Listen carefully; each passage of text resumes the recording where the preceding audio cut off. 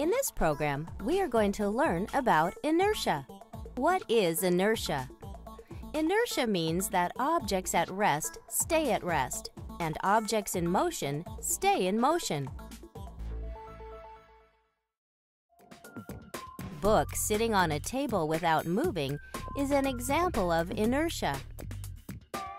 Water that never stops flowing is an example of inertia.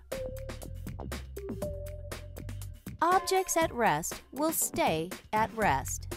If an object is sitting still in one place, it will stay there until something moves it. Objects in motion will stay in motion. If something is moving, it will keep moving until something stops it. Only a force can change motion.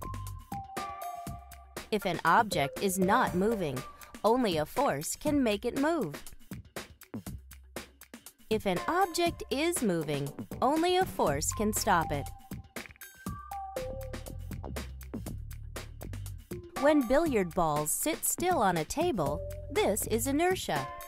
When the billiard balls are hit, they move and will continue to move until another force stops them. Inertia is an object's ability to start and stop moving. The amount of inertia an object has depends on the mass or size of the object. The more mass an object has, then the more it resists a change in motion. Big objects like this ship have more inertia. They are hard to move. If they are in motion, big objects are hard to stop. This truck has a lot of mass it is hard to stop its motion. Small objects, like this toy train, have less inertia. Small objects are easier to move. The toy train, because it is a small object, takes less effort to stop, too.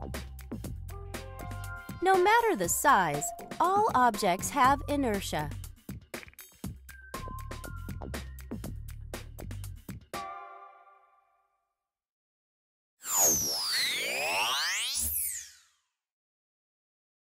Now that you have a better understanding of what inertia is, think about this.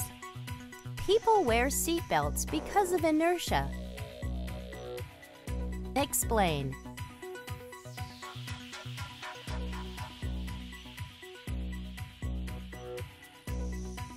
Think about it.